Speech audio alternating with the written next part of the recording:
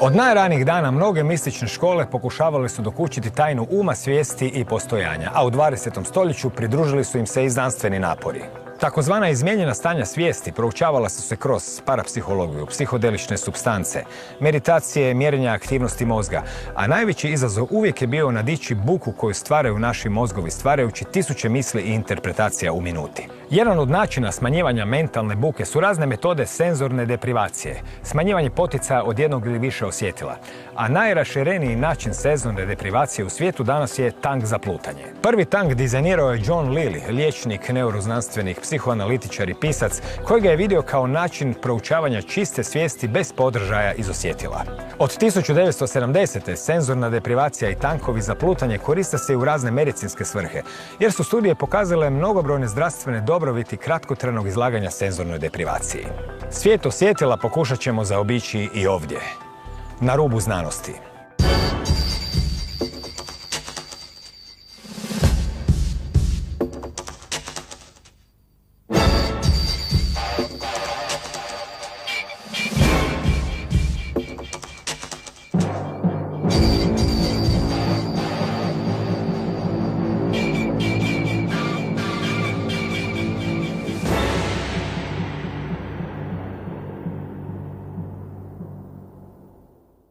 Dobar večer. Dražen Radaković je hipnoterapeut, autor knjiga Reinkarnacija, život između smrti i ponovnog rođenja i hipnoza za svakodnevnu primjenu.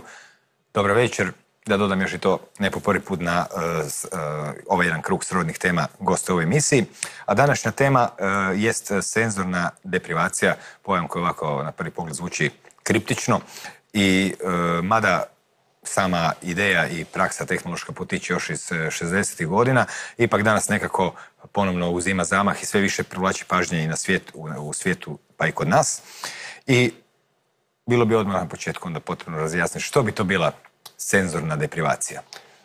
Ovako, senzorna deprivacija je namjerno e, smanjivanje e, restrikcija ili potpuno uklanjanje e, osjetila. Postoji jednostavnija senzorna deprivacija poput e, stavljanja poveza na oči ili stavljanje e, čepova, čepića na uši u kojima uklanjamo, e, u kojima se reducira osjetilo vida ili sluha. Postoje malo složeni, ajmo ih nazvati aparati, koji uklanjaju osjetila mirisa, okusa, dodira, pa osjećaj topline ili gravitacije. Recimo da malo kraća e, senzorna deprivacija može e, čovjeku e, pomoći u smislu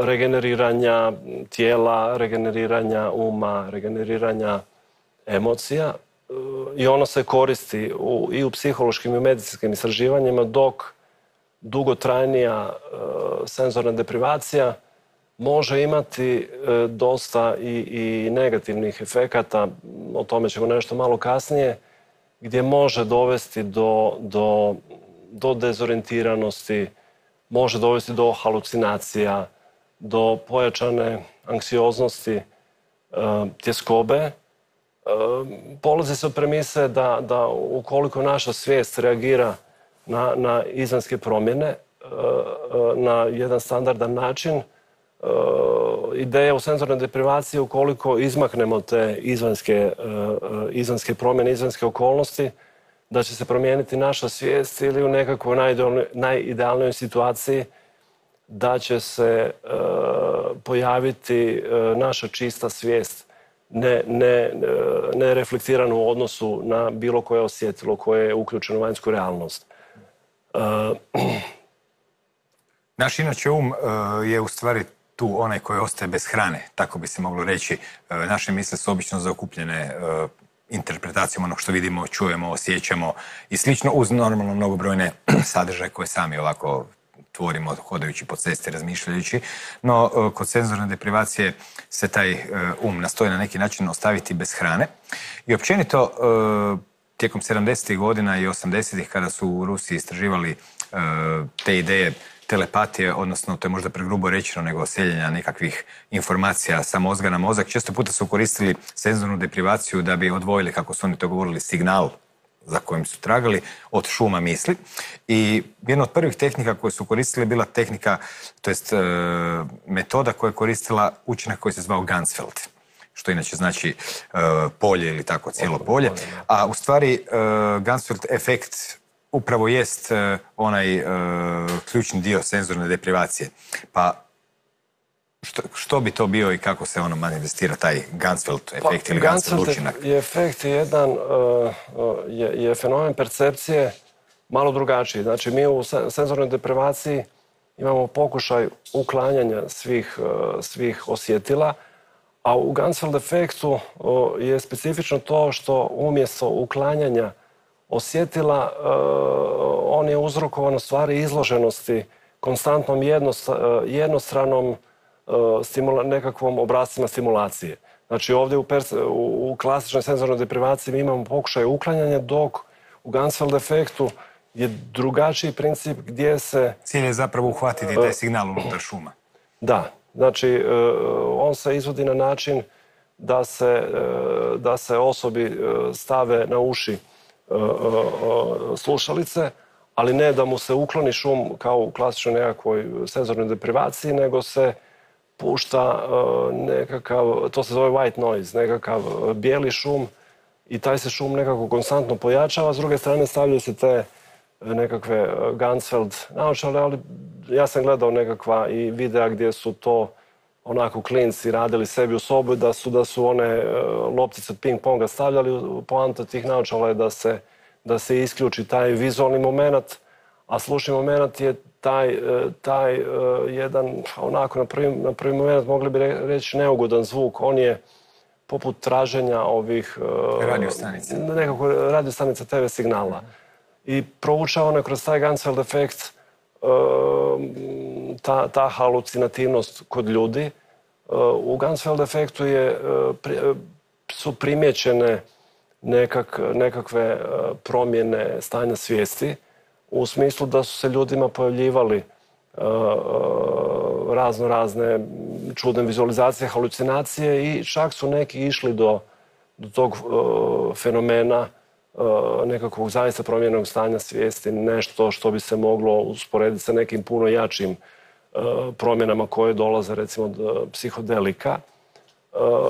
Gansel efekt je prvi unio u, u, praksu psiholog njemački Wolfgang Metzger tamo još 30. godina prošlog stoljeća. E, on je e, jednostavno došao do zaključka da, da osoba koliko bulji u prazno i, i e, da, mu, da se ljudima kod buljenja u prazno javlja nekakve vizije, da, da, da mu se javljaju nekakve imaginacije, vizije i one, e, e, došlo, došlo se do zaključka da se čovjekov elektroencefalogram, znači EEG mijenja. E, znači uređaj koji prati aktivnost, električnu aktivnost mozga, moždane valove. Recimo, taj, taj Gansfeld efekt je krenuo formalno od Wolfganga Metzgera. On je kao, kao njemački gestalt terapista gestalt terapeut e, to, to pokrenuo, međutim e, sličan fenomen bi mogli promatrati još tamo, recimo pet, god, pet stoljeća prije Krista šest, e, Pitagora u njegovo vrijeme postoje zapisi da su ljudi, ako su tražili te vizije u kojima priča Metzger u Gansfeld efektu, ako su ljudi tražili rješenja na neka pitanja, da su odlazili u pećine, buljili u, mrak, e, osluškivali možda te zvukove kapanja nekakvog e, pećine i dolazili do nekakvih odgovora na željena pitanja. To je nekakva praksa bila i tada. E, taj Gansfeld efekt je možda usporedivi sa iskustvima rudara koji pričaju o kad ostaju zatrpani u rudnicima neko vrijeme i onda im se u toj u tom potpunom mraku javljaju nekakve vizije, čak nekakvih demona, duhova ili kako oni to interpretiraju. Ili recimo dosta slične stvari kod arktičkih istraživača nakon dugotrajnog tog gledanja o namjeru u bijelo se isto e, javljaju razne razne vizije. Tako da Gansfeld efekt je formalno krenuo u prošlom stoljeću, ali bi mogli imati nekakvih sličnih fenomena i, i, i slučajnih e, kroz povijest puno prije. U suvremeno doba postoje dva terapeutska načina e, korištenja senzorne deprivacije. E, koja su to dva načina ovako u temeljnim crtama? Pa, imamo dva temeljna načina koja su se u, nekako ostala u praksi. jedan je chamber rest, znači restricted environmental stimulation therapy, kao komora, prostor, kao što samo ime kaže. I drugi je flotation, floating, float tank. Chamber rest je nešto stariji. On je, je, tu se senzorna deprivacija dobiva sa boravkom u, u zatamljenoj prostoriji, u mrklom mraku 24 sata gdje, gdje ispitanici, korisnici te, te komore, tog u stvari prostora koji je izvučno izoliran i potpuno zatamljen, borave 24 sata i prate se njihove reakcije. Oni u stvari u tom chamber restu imaju, chamber deprivaciji, komori imaju konstantan kontakt sa, sa, sa, sa voditeljom voditeljem e, takvog načina deprivacije putem interfona možda danas i već e, nekom suvremenijom s pravom e, prati se njihova reakcija i recimo u takvom obliku deprivacije ispitanici mogu napuštati ranije. Nigde nije ograničeno da neko mora ostati, ali interesantno je da uglavnom u takvom obliku senzorne deprivacije na svega 10% ljudi napusti chamber prije, prije isteka tih 24 sata i uglavnom su reakcije e, poboljšanje, koncentracija, bolja tjelesna, mentalna regeneracija, svelo bi se na poboljšanje općeg stanja. Kod e, flotation... E, to su znači tankovi u kojima se pluta? Da, postoje znači opcije da može biti tank, može biti kada, može biti cijeli bazen. Tu se senzorna deprivacija dobiva u otopini ogromnom koncentratu epsomove soli. To je ova gorka sol, inače dobila ime po, po pokrajini Epsom gdje je prvi put destilirana ta sol iz tekućine. Recimo u tanku, ne znam, kao u ovom mom centru, u tanku od 500 litara, ide 400 kila epsomove soli i u, u floating tank osoba uslijed ogromne koncentracije epsomove soli pluta. Epsomova sol inače i sama po sebi dosta korištena u medicini, u kozmetici za uklanjanje akni, nekakvih kožnih problema. Dobra je sama ona po sebi za regeneraciju kostiju, mišića, kao laksativ. Ali znači u ovome, u samom plutanju, u, toj kadi, tanku ili bazenu osoba pluta u bestežinskom stanju. Situacija je takva da obično te takva deprivacija je puno kraća. Ona traje do sat vremena. U stvari sat vremena je nekako preporučena, preporučeno vrijeme koje tamo osoba provodi u, slučaju da želi rad senzornu deprivaciju. Prvi 40 minuta boravka u toj u floatingu u tanku javljaju se nekakve senzacije vrlo slične meditaciji.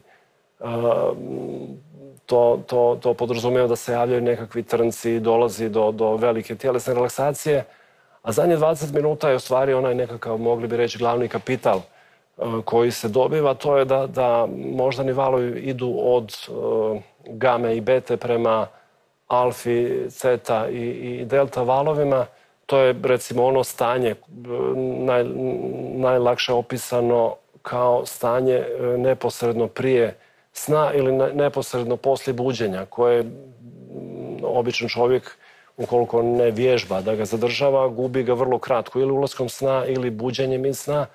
Međutim, ovdje se dešava tih zadnjih 20 minuta e, čovjek e, zadržava pa neću reći mimo svoje volje, jer je odlučio da, da, da, to dobije, ali ne mora nekakav ulagati svjesni napor i ti 20 minuta onda dolazi do pojačane imaginacije, mogućih halucinacija i, i tu se recimo između ostalog javlja jako puno nekakvih kreativnih ideja, osim što se također dobiva jako puno na, na, na, na toj hipertenziji dolazi do, do velikog opuštanja mišića, isto dolazi do, do, do smanjenja boli, nesanice, općenito tjelesna, tjelesna, mentalna i emocionalna regeneracija je odlična i, i u ovom obliku senzorne deprivacije. Da, može se u stvari reći da, ako sam dobro shvatio, je li točno reći da tih 20 minuta su zapravo produženo stanje onog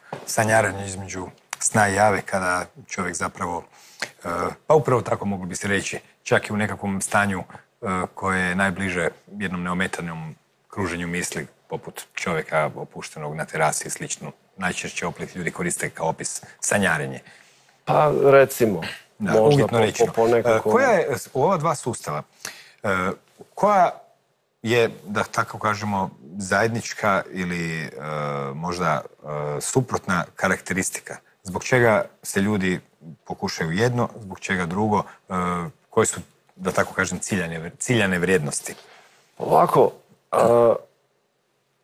razlika je u, između chamber resta i, i flotation, floating tanka, nekako u namjeri, u namjeni su ipak drugačije. recimo sam, sam chamber se počeo proučavati tamo 50. godina i, i on je više korišten za ljude sa, sa psihijatrijskim problemima.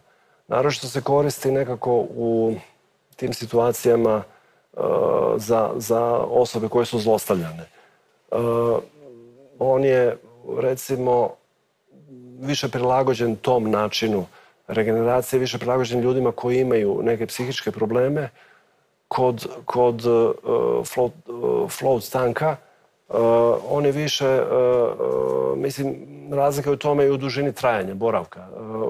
Boravak u, u floatu je nezamisli 24 sata. Prednost floata je što se u manjoj jedinici vremena može dobiti puno veća, puno veća i mišićna opuštenost i puno prije se i, i moždani valovi spuste u nekakve niže frekvencije. E, recimo, su, istraživanje najprije Chamber je starija priča i e, e, ispitivanja su rađene 50. godina kad je Float ušao kasnije nekako sa, sa ovim John Lillijem. on je drugačije su rađeni upitnici, rađeni su neki pokušaj komparacije jednog i drugog prednost, jednog u odnosu na prednost drugog, činjenica je da, da je prednost e, flota u kratkoći trajanja u odnosu na chamber, chamber daje nekakve druge nekakve druge vrijednosti koje, koje float vjerojatno ne, ne, može dobiti i nekako, ja sam gledao nekakve studije ljudi koji su radili, ajmo tako nazvat, neovisna istraživanja jednog i drugog, e, kad se sve zbroji oduzme, sve se svodi da su prednosti, e, da nema nekakve izrečite prednosti jedne u odnosu na drugo. E, Osim činjenice da je već sama ideja boravka 24 sata u mračnoj prostori daleko ekstremnija nego sat vremena eto, plutanje u kadi. Da, ali na kraju ti su, znanstvenici su ono, uvijek i kad bi gledao istraživanja koje su bile neovisna, mogao bi zaključiti po nekoliko rečenica u stvari iz kojeg tabora znanstvenik priča. Tako da je jako teško danas i, dobiti točan, precizan odgovor šta ima Dobro, za, što se sve danas ovako praktično uh, koriste ti uh, prije svega plutujući uh, tankovi koji su naravno i praktični i jednostavni i naravno da će čovjek možda u danu i naći sat vremena, ali u tjednu 24 sata za takvu jednu situaciju možda i ne. Pa koje su e, neka područja na kojima se koristi? Uh, floating tank. Mhm.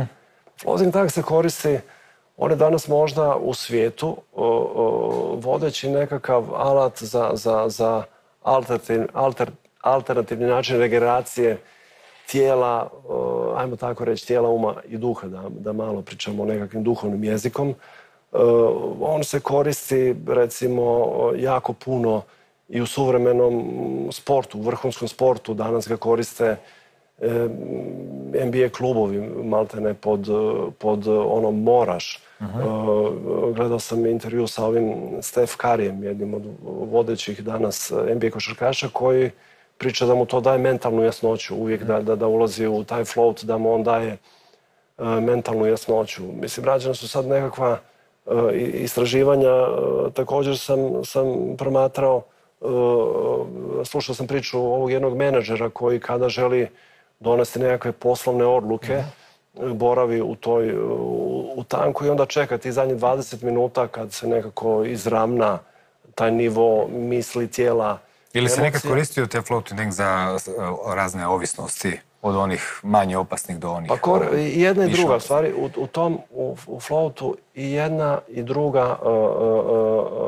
u, u senzornoj deprivaciji kao chamber i float korištene su i za odvikavanje od pušenja, recimo float je imao sad postoje podaci za jednu i drugu, da, da bi recimo kod pušača nakon jedne seanse 25% ljudi uh, rapidno smanjilo nakon uh, u kombinaciji. Ona se vrlo često koriste, znači i chamber i, floating tank koriste se u nekakvim kombinacijama sa drugim behavioralnim tehnikama.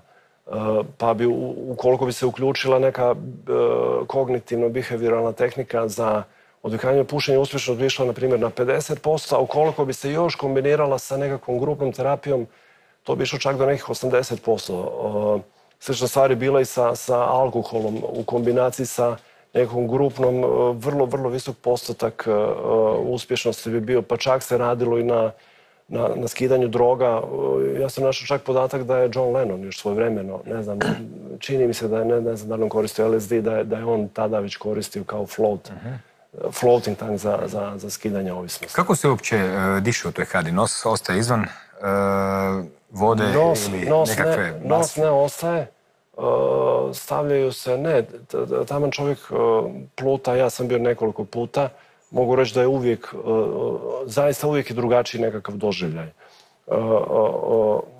Nos ostaje vani, oči, su, oči je dobro da se zaklone jer je ogromna koncentracija soli. Zna biti neugodno za, za oči.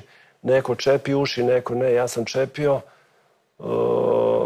i u stvari u pravilu ljudi ulaze potpuno goli. Uh-huh. u smislu nekakve e, čistoće. Ta, to je toliko ogromna koncentracija soli da, ona ubija sve nekakve bakterije. Ako se naravno, ta voda uh, filtrira prije, uh, prije su ti tankovi rađeni da je voda stajala i onda se sa isisnom pumpom uh, ispumpavala uh, nakon izvesnog vremena a danas su već toliko usavršeni, danas su toliko drugačije napravljeni da imaju onu gornji dio kao kapu koja, koja se otvara, tak, takav, je, takav je i ovaj moj. Znači otvara se sa kapa gore. Prije bio onako dosta klaustrofobičan, imao je samo jedan mali otvor. Neki ljudi koji su imali problema sa, sa, sa strahom mm, od malog prostora, klaustrofobijom, su i, zaista imali problem za ulaz. Danas je to u zadnjih možda 5-10 godina napravljeno na, na jednoj potpuno drugačijoj razini da i oni koji baš imaju klaustrofobiju, oni ostave si malo oškrinut mhm. taj, tu gore kupolu. Da, da, mogu, da, mogu da, da, da, mogu ući. Ovaj. Iskustvo je zaista takovo da svaki, uh, meni je osobno, ako mogu reći ne, ono svoje iskustvo, svaki ulazak je bio potpuno, potpuno drugačiji i ono što sam ja primijetio, je to da, da e, naravno osim e, tog osjećaja bestežinskog stanja, gubljenja gravitacije, gdje, gdje, gdje je samo to je već jedan poseban osjećaj, e, ta nekakva, zašto se on u stvari i, prvotno koristi, ta težina ako čovjek dođe s nekim teškim mislima, teškim emocijama, čak i ako i one ostanu na razini, da ih je čovjek svjestan u, u, u, u samom boravku u tom tanko, one naprosto nemaju nekakvu težinu i možda je baš zato uh, uh, možda je baš zato idealan za taj nekakav uh, svijet ljudi koji moraju donositi neke odluke u poslu mm. ili imati neku ideju, a ne znaju šta kako odlučiti, tada im ta odluka ostaje, svijest ipak se ne gubi u toj mjeri, ali nema taj emotivni naboj ili mentalni naboj koji, koji čovjeka može kočiti da, da donese pravilnu odluku što i kako učiniti u, u nekoj životnoj odluci. U, u povijesti istraživanja senzorne deprivacije zabilježeni su efekti koje se nazivalo psihodeličnima, jer jednostavno e, nije bilo drugog ni načina da se ta neuhvatljiva materija i ono što se zapravo događa u zadnjim trećinama takvih boravaka u tim komorama, akadama za lebljenje opiše. No, kako su, kakvi su, evo, spominjali ste vlastito iskustvo. E, također e, postoje i mnogobrojna mjerenja mozgova, istraživanja, isto kao što se danas radi sa nekim psihodeličnim substancama i kao što se radilo i prije. Pa, e, kakvi su to, ako se može pričati o nekim učincima koji bi se opisali kao psihodelični, kakvi bi oni bili? Što se uopće tu pokušavalo dokučiti, a i što tako jedno univerzalno iskustvo govori? Pa, E, rađena su istraživanja utjecaja na mozak, senzorne deprivacije općenito.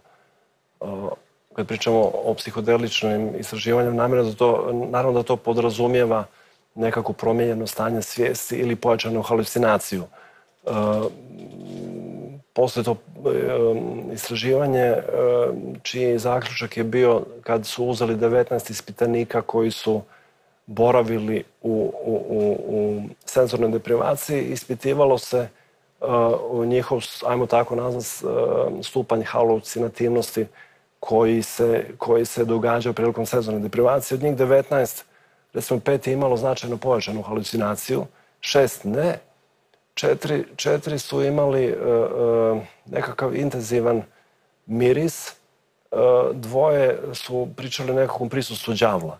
Znači, e, senzorna deprivacija je, je e, doprinjela e, tom nekakvom promijenjenom stanju svijesti.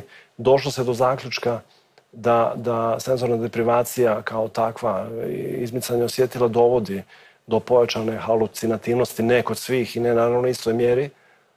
Ono što je zanimljivo, postoje pak neke studije koje tvrde suprotno, ali više ovih koji to koju e, gubljenje osjetila, senzornu deprivaciju ipak povezuju sa, sa, sa nekakvim stupnjem halucinativnosti. Zanimljivo je recimo da e, su rađena istraživanja sa šizofreničarima e, koja su pokazala da, da, da šizofreničari za vrijeme senzorne deprivacije imaju daleko e, manje halucinacije nego što ih imaju u budnom stanju. Znači obrnuti proces. Obrnuti proces. A vrlo lako je to nekako i logično zaključiti zašto je to tako. Zato jer e, oni, e, u, ljudi sa šizofrenijom su, su ti, ti senzori uključenost osjetila u svakodnevnoj realnosti u odnosu na, ajmo reći, zdravog čovjeka daleko manja. I kod njega se dešava da je on u budnom stanju, ima jako puno halucinacija,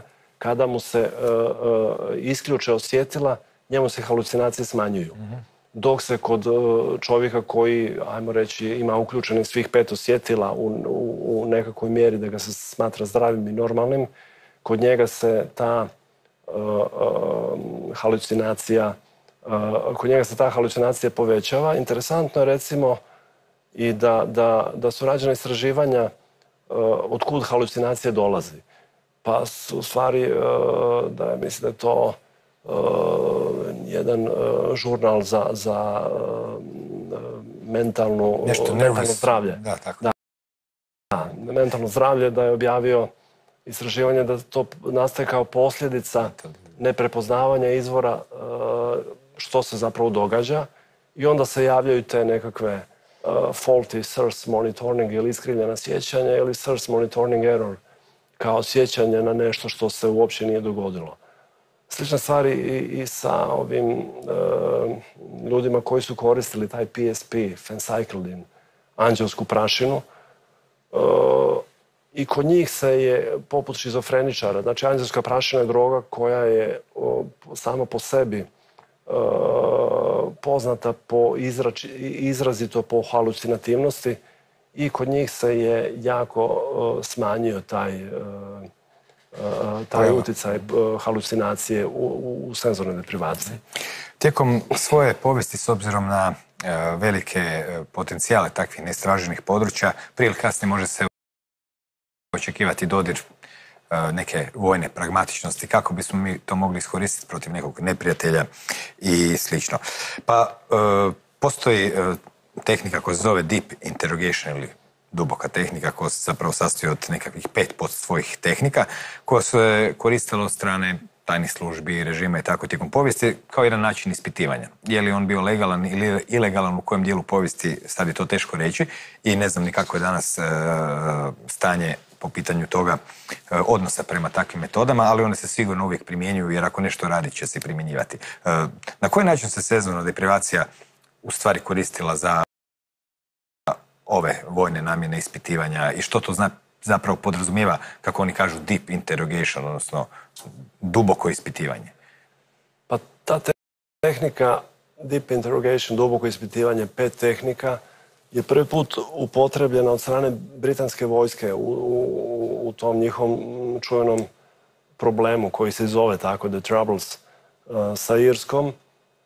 I oni su, mislim da je kolovo 71. godine, prilikom ispitivanja 300 i nešto, 340 uh, zarobljenika, oni su koristili, primjenjivali su tu, tu tehniku, pet tehnika, ona se zove pet tehnika zato što je korišteno tih pet glavnih e, stvari. Jedna je, e, prva stvar je wall standing, to je ono, e, u stvari čučanje u nekakvom potpuno neprirodnom položaju, gdje, gdje dolazi teret na, na jedan ili dva mišića i užasno je bolno. Druga tehnika od tih pet je taj hooding, stavljanje kapuljače na glavu, gdje bi osoba nakon izvjesnog vremena imala isto veliku dezorientiranost, strahovitu anksioznost i taj se huding pojačavao ukoliko bi se osobi stavljale ruke iza leđa i vezale. Zatim tu bi bila ta deprivation of sleep, uskraćivanje sna, deprivation food, drink, hrane, vode, subjection to noise, pojačavanje buke. To je korišteno znači 71. godine britanska vojska koristila. Naravno da, da, da Europska komisija za ljudska prava je to proglasila torturom. To pitanje je onda i prosljeđeno Europskom sudu za ljudska prava mislim 76. godine koji je isto to proglasio degradirajućim i dehumanizirajućim i to je na kraju završilo na Europskoj konvenciji koja je e, to odbila proglasiti torturom. E, Irci su inzistirali da se proglasi, na kraju očito presudila politika, Britanci, Englezi su bili protiv, Amerikanci su također bili protiv toga da se to proglasi e, torturom. Mislim, iz najprostijeg razloga zato što su oni to koristili. Znači, i u Iračkom ratu, poslije taj čuveni slučaj tog Baha Muse, koji podljega, e, koji umro u stvari e, e, nakon takvog, nakon takve vrste ispitivanja i onda su u, u 2000, taj drugi, drugi poznat slučaj kao, koji je bio vezan za, za američko ispitivanje 2007. godine na Brooklynu, Joe Padilla koji je 300 i nešto dana proveo u sobi tipa 9 sa 7, potpuno mraku, bez sata, bez kalendara, bez pojma prostoru vremenu, sa, sa nekakvim slušalicama na ušima gdje je provodio, gdje, je imao ta nekakva ispitivanja sa ogromnim, sa, sa jakim svjetlom u oči, ogromnom bukom. I kad se pojavio na sudu, nakon tih 300 dana e, imao je facijalne tikove, rapid eye movement, REM, imao je potpuno usukano tijelo i u stvari više je bio potpuno, potpuno mhm. drugačiji čovjek u odnosu na, na, na prije, tog, uh, prije tog ispitivanja. Mhm. Kad već pričamo o sezonnoj deprivaciji i njenom korištenju u medicinske svrhe i svrhe poboljšavanja općih stanja svijesti, kao i u korištenje u uh, loše svrhe iz perspektive mučenih, naravno dobre iz onih koji ih muče pa žele zvući informacije nekakve. Postoji to je pojam potpune izolacije. Veliko je pitanje može li uopće koliko čovjek biti u potpunoj izolaciji. Vidimo da upravo senzorna deprivacija njene istraživanja istražuju te granice. Ali potpuna izolacija, je li uopće moguće i je li se iskušavalo? Što bi uopće bilo?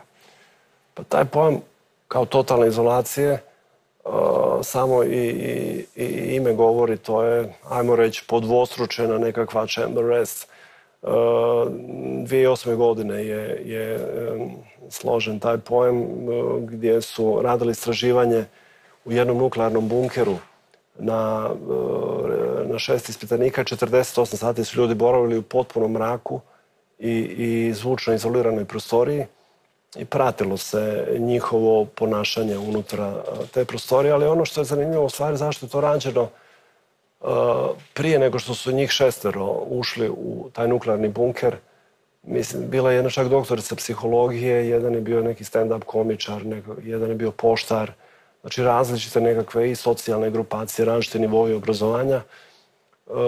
Ljudi su prije toga testirani recimo na verbalne sposobnosti, na sugestibilnost, na procesiranje informacije i na vizualnu memoriju. I e, nakon što su boravili tamo, a tamo su imali od njih šest, recimo četvero imalo o, znatne halucinacije, čak imaju, gledao sam taj video koji je BBC snimio 2008. pratio njih unutra, gdje neka žena vrišti da stalno vidi zmiju, neki, ovo priča da vidi neki mali auto, neko, imali su priviđenja školjke, jedan je non stop govori da mu deka smrdi. Dosta je onako kao da su ljudi pod nekakvim opijatima. Kad su ljudi izašli van, rađena su im ista testiranja koje su, koja su radili prije totalne izolacije i u principu dosta, dosta se stanje pogoršalo.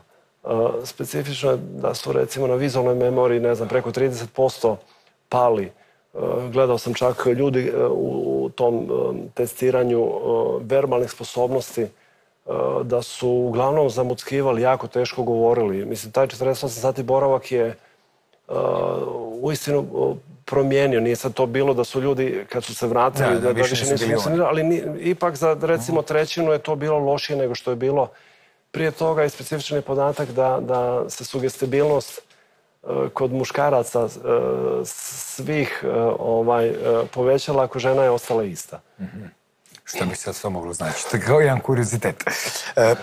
Kada već pričamo o tom najrasprostranjenijem načinu korištenja senzorne deprivacije u svrhe zdravlja i istraživanja taj plutajućeg kada u koji se pluta ili kako se to zove na internetu najčešće floating tank.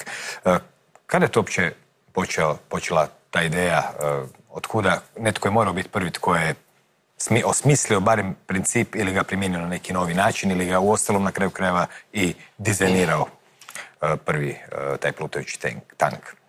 Pa prvi je e, tu priču donio John C. Lilly. To je jedan ovako osebojen Amerikanac, moglo bi se reći, on u biografiji mu stoji da je, ja ću sad navesti sve što mu stoji, ne zato da ga kitim, nego zato što je uistinu sve to, za šta, što mu stoji u biografiji, uistinu je sve to i bio. I izumitelj, i liječnik, i neuroznanstvenik, i filozof, i pisac, i psihoanalitičar, i psihonautik, e, e, više osoba u jednoj. Kao samouk ili kao... I u svim tim segmentima o kojima se predstavljaju imao izvanredno obrazovanje. Znači čovjek je i kao rođeni u obitelji vlasnika banaka, bogatih ljudi, kao malih, kao mali pokazivao interes za znanost. Čak je imao nadimak kao klinac Einstein Jr., Einstein junior i, i pripadao je toj generaciji multikultur, multikulturalnih kulturalnih znanstvenika sa Timothy Learyem, koji je možda najpoznatiji ili jedan najpoznatijih u istraživanju psihodelika. Onda e, tu je bio Ram Dass, čuveni psiholog, Werner Erhard. On je i specifično to da su se oni e, skupljali i kod njega doma. On je čak imao i u tim akademskim krugovima nadimak, ludi znanstvenik. E, često je sporavan bio od tih akademskih krugova. Ja sam gledao neke intervjue gdje se pojavljuje na televiziji e, u, u nekakvim nezabavnim emisijama, ozbiljnim znanstvenim emisijama dolazio sa onom kapom Davida Kroketa, sa onim rakunom i onim nazad repom. Vrlo osebojna ličnost i on je u stvari e, dolazimo na, na, na, sad na, na tank kako je došao do njega, on je imao je ideju kako dobiti čistu svijest od čovjeka, a da ga se odvoji od izvanskih podražaja. Tank je vidio kao priliku da se čovjeku u otopini epsomove soli, u ogromnoj koncentraciji epsomove soli, plutajući najbrže i najkvalitetnije može odvojiti od izanskih podržaja i doći do nečega što možemo zvati čista svijest. E, interesantno je to da je on na tu ideju došao, on to tako govori, ja ću ono, reći to što on kaže, da je on to došao u komunikaciji sa delfinima. On je e, i objašnjavao je to u tom intervju kako su njemu delfini rekli kako to sve skupa treba izgledati. Čak i pričao kako su mu govorili brzo pa je tražio da ponove to i on je i poznat, jedan period svog života je proveo isključivo baviti se komunikacijom. A što on baš je pričao o telepatskoj komunikaciji ili o zvučnoj komunikaciji? Teško je reći. Ostavimo, Teško je, ostavimo ja, njegove iskustva po strani. Da. Kuda, što su mu ti delfini rekli, odnosno da, zapravo vratimo priču na taj prvi floating tank? Da, i onda ga je on uh, dizajnirao, uh, osmislio, uh, to je onda išlo već tada u, smjeru i kade, i tanka, i bazena dobio je tu, tu ideju od njih i tada se to počelo, e, tada se to e, počelo od njega primjenjivati u praksi nadalje. E, on je i kasnije nekako, kad već pričamo o njemu, osebu je nekako, pa bi volio reći da je on proširio, kasnije on je pisao i neuro, neurofiziologiju, zaista je vrhunski, vrhunski obrazovan u svim segmentima sa kojima se u stvari bavio.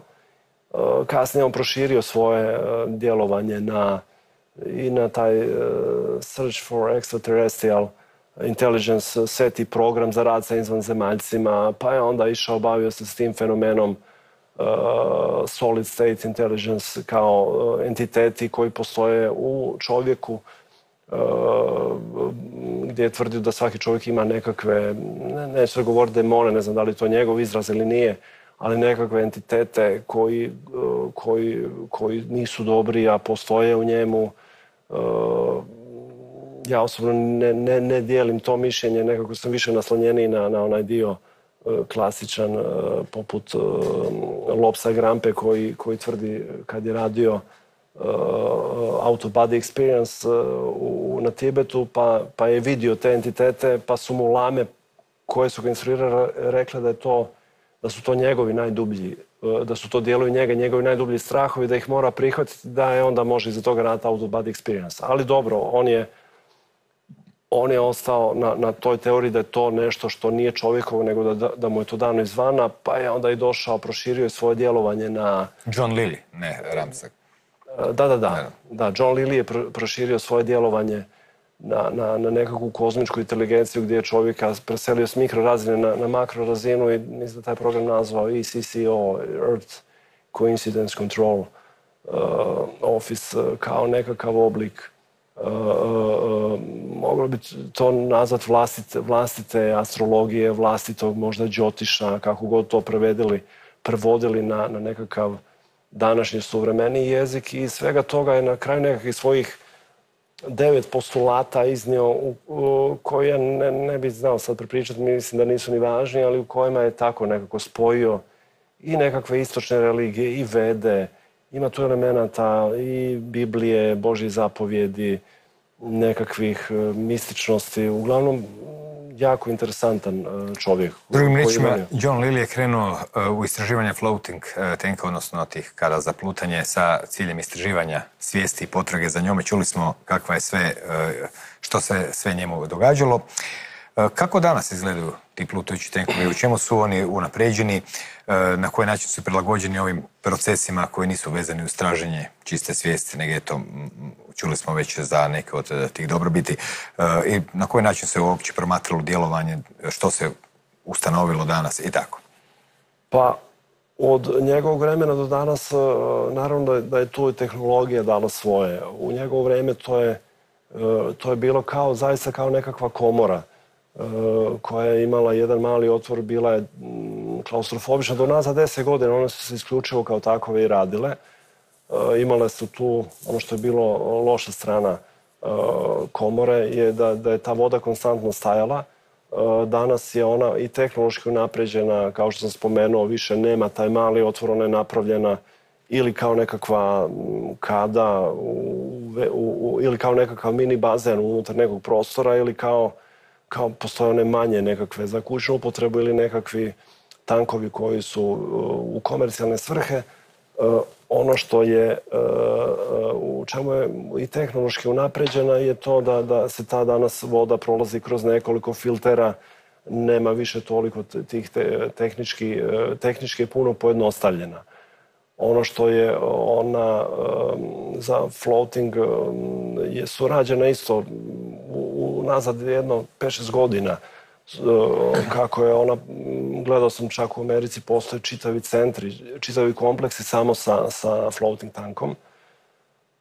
Ono što, što, naravno, kad je došlo do ekspanzije nekakve i u komercijalne svrhe i recimo ona se danas koristi u Švedskoj kao dio bolnice, u nekakvog programa e, rehabilitacije unutar bolnica.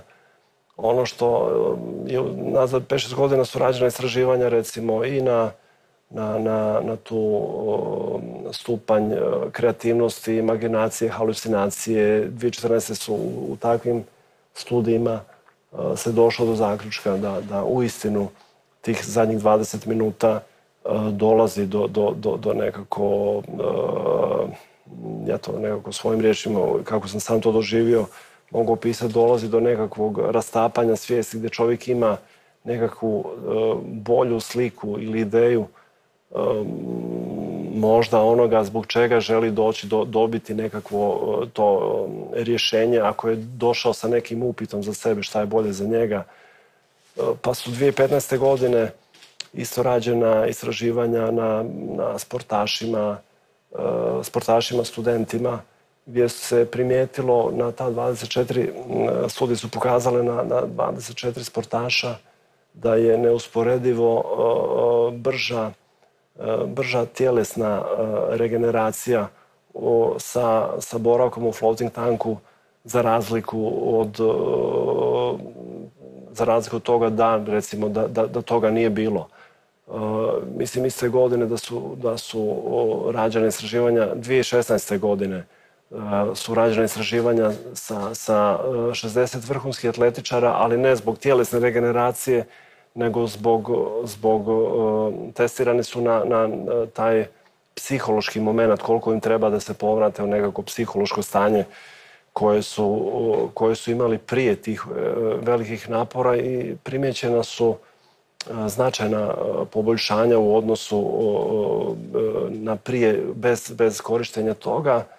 I rađena su istraživanja i sa nekakvim anksioznim poremećajima, recimo taj generalized anxiety disorder kao anksiozni poremećaj, gdje su se primijetila isto značajna poboljšanja u smislu i relaksacije, bržeg ulaženja u, u san, e, smanjenje nekakve anksioznosti.